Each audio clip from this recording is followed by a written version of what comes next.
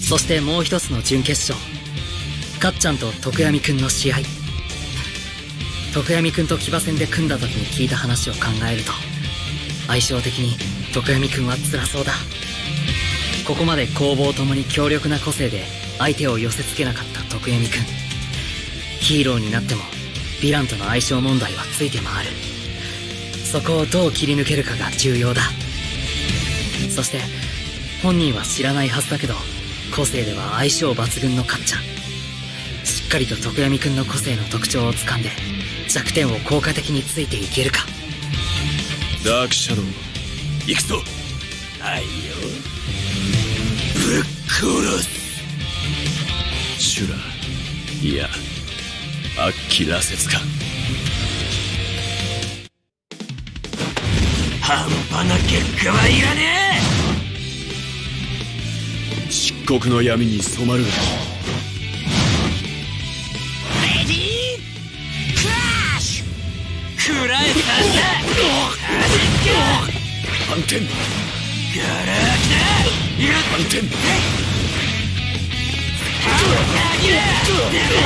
やんのか。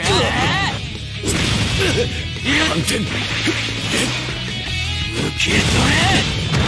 反転打撃で打ちまくんだ。覚悟この方で強行だ。せんな頼んでらややったか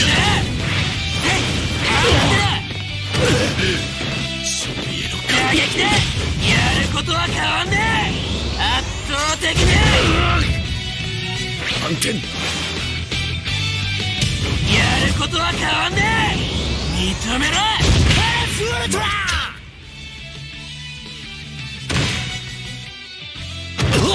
ウィン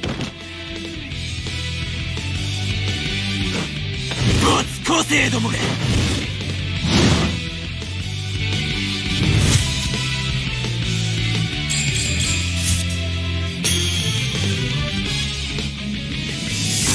アメージング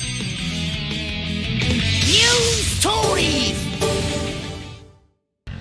ダークシャドウの弱点知っていたのか？数打って暴いたんだバーカ。まあ相性が悪かったら同情するぜ。罪だ参った。徳闇くんも苦手な個性相手に検討したけど負けてしまった。騎兵を狙って持久戦に持ち込んだのがあだになったのもあるかっちゃんは持久戦も得意なのだ。いくら相性がいいとはいえあのダークシャドウの攻撃をさばけるかっちゃんもすごかった。そしてあの短時間で相手の弱点を暴く観察眼も並大抵のものではない。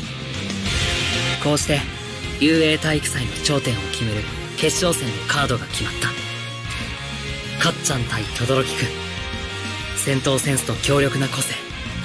どっちが勝ってもおかしくない2人がここに揃った。